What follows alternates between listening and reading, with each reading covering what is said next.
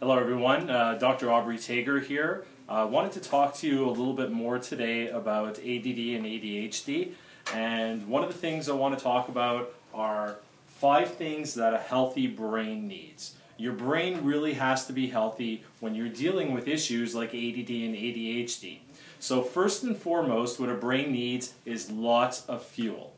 And what we mean by fuel is we need fuel from glucose, which is sugar, and oxygen. With, without those two things, your body cannot function properly, specifically your brain, and that also is going to help what's called the mitochondria.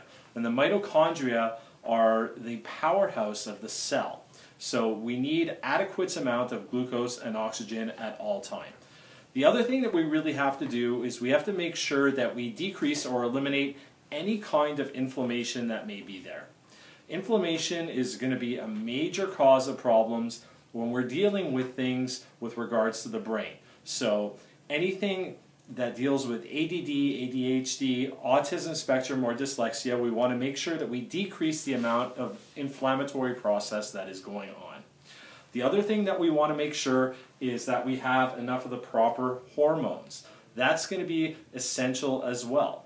Now, the fourth thing is proper neurotransmitters. You might have heard these terms from neurotransmitters in the past, and even some of you that have your children on medications, you might have heard the terms serotonin or dopamine.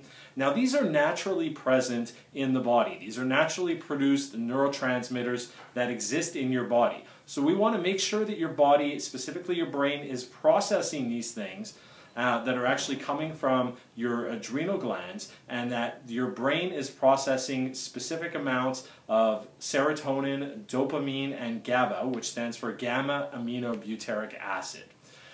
The fifth thing that we need to do is we have to make sure that we have proper amounts of activation. And what we mean by that is stimulation or activation to your brain.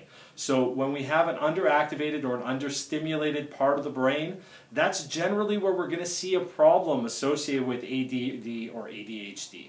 So if you have any questions about this or anything else as far as ADD or ADHD or autism spectrum, please give us a call at area code 514-426-6449 or you can also go to our website to learn more, www.neurologix.ca. Thanks again and have a great day. Talk to you soon.